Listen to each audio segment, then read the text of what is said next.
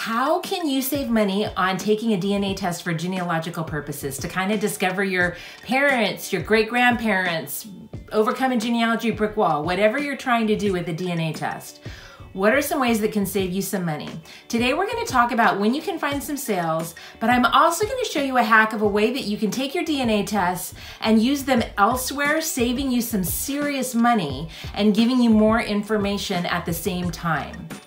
I am Aimee Cross, and I'm here to help you take your genealogy to the next level. And today we're going to save you money while we do it.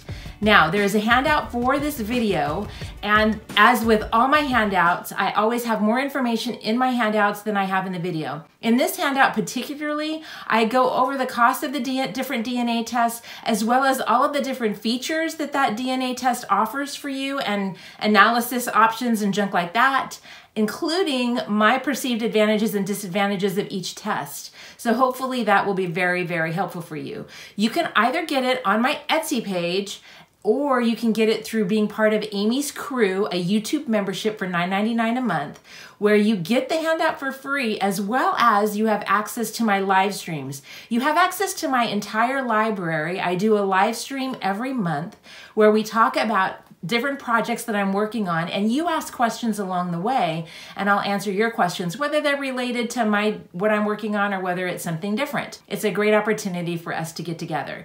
So, you could either find links to either of those in the video description below or at the end of the video I'll give you links to both either the Etsy page or Aimee's crew.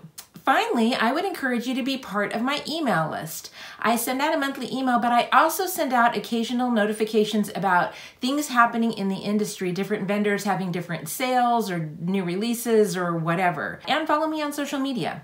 All right, let's dive in here. When is the best time to buy a DNA test? Generally speaking, the holiday season is one of the very best times, November, December, particularly Black Friday and Cyber Monday. But the DNA tests also always go on sale for Mother's Day and Father's Day, and frequently you can find great prices on the Amazon Prime Day, usually sometime in mid-July. Finally, Roots Tech is another great place. They always go on sale at Roots Tech, sometimes for fantastic prices. And usually you have to be part of Roots Tech to get that price. But good news, you can attend in person, but you can also attend virtually to Roots Tech and it's free and that gives you access to some of the great pricing that's available by some of the vendors. So you might want to check Roots Tech out. I'll put a link for that as well in my video description. All right, so my hack to save you money and help you not only get DNA test results on one site by buying their test, but take those results and use them elsewhere. Let's talk a little bit about the DNA testing companies. Now, Ancestry has by far the largest database. They also are a little bit more expensive than most of the other companies. Um, they have over 25 million DNA tests in their database as of the 1st of 2024, January 2024. Now, MyHeritage has just under 7.5 million tests at the same time period in, in January of 2024. They're the next largest database. Family Tree DNA also sells autosomal DNA tests. They also sell Y-DNA and mtDNA tests.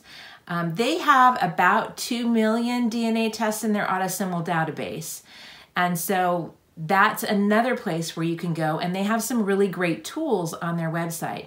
And then GEDmatch doesn't sell DNA tests, but they have about 2 million tests in their site as well and they give you some pretty phenomenal tools. So, what do you do and where do you go? Oh, and I can't neglect 23andMe because there's a lot of people that have tested on 23andMe.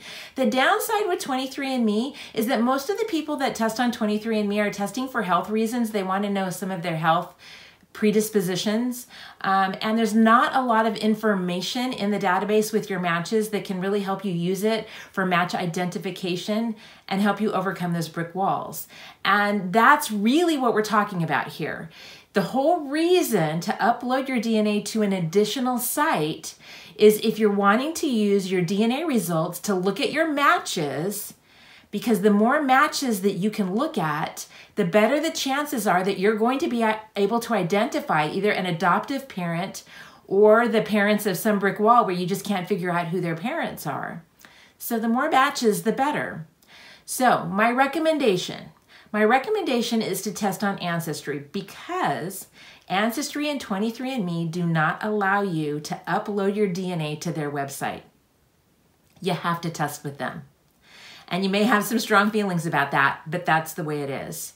So, because it's such a huge database, I would recommend purchasing the Ancestry test and uploading your DNA on Ancestry. And then you can download that raw DNA data and you can upload it to the other places and get some of those advantages that they offer, like chromosome browsing. I hear that a lot. People want Ancestry to put a chromosome browser on there. And I'm told by them that it isn't going to happen. Now, I'm not an employee of Ancestry, and maybe someday it will, but it's not happening now, and I've been told that it's probably not going to happen. So, if you want a chromosome browser, you got to put your DNA somewhere else. In addition to getting the chromosome browser, each of these sites has some other amazing tools that can really make a difference as you're working with those DNA matches. And I go into a lot more detail on that in my handout. Now let's talk about downloading your DNA results so that you can then upload them elsewhere or just keep a copy of it. If you go up there to your face or your initials, however you've done it, then you're going to see your screen here that tells you everything about your Ancestry account. And if you go down down here, you're going to see manage your DNA test. And then you just click the um, settings right there by manage your DNA test. And then this is going to tell you the information about your test. Then you scroll down and right down here you can download DNA data and then you understand their warnings and hit continue, and it will just download a copy of the DNA data to your tablet. Now, if you're on a computer, you need to get to the settings, your DNA settings. There's two different ways. One of them is the back doorway, and one of them is kind of more of a front doorway. The front doorway is to go up to your face up on the top right, and then you can click your account settings, and then you can go to your DNA and then you can click your DNA test and then you can go down, scroll down, and you can download your DNA data. It looks very similar to the app. So the back doorway is just click invite. And then if you notice up here on the top left, you see DNA settings, Aimee Cross, DNA test sharing, which is where we are. Just go to the DNA settings. Now I'm there. And then I can click my test. And then I can scroll down and download my DNA data. It's that simple. Now let's move to uploading your DNA to a different website and let's start with MyHeritage. I'm going to put links to these other sites in the show note descriptions so you can go there. But basically, you could do a Google search and just put in MyHeritage upload DNA, and you'll go to this page and you can upload your DNA here and start and it'll take you through the process. It doesn't cost you anything on MyHeritage to upload your DNA. Now, when you upload for free, not all features are going to be free. It, you can upload it, you can see some things, but you're not gonna be able to see everything. Now, if you have an MyHeritage account, then you will be able to see everything. But if you don't have a MyHeritage account, you don't want one, you can pay a fee to go ahead and add in those other DNA tools. Most recently, it's been $29. However, that could change. And that's a one-time fee. It's not one that you have to pay every year or every month. Another place you might want to upload your DNA is Family Tree DNA. Here you can also upload your DNA data for free. They also charge you an additional fee if you want all of their features. Another place that you might want to upload your DNA is to GEDmatch. And that is a site where they don't even offer DNA tests, but people can upload their DNA there to share the information and hopefully find some of the matches that they're looking for. Like the other sites, the upload is free, but they do have some additional tools that can cost you a little bit more money. Now, these tools are not going to work. Your matches that are on Ancestry aren't going to transfer over to these other sites. Your information is going to transfer to the other sites, and then you can see who you're matching that are on those sites. I hope this has been a helpful video for you. I really think that whenever I can save money, I'm a happy girl. And this is a great way to save you some money and get you access to more matches and some more tools.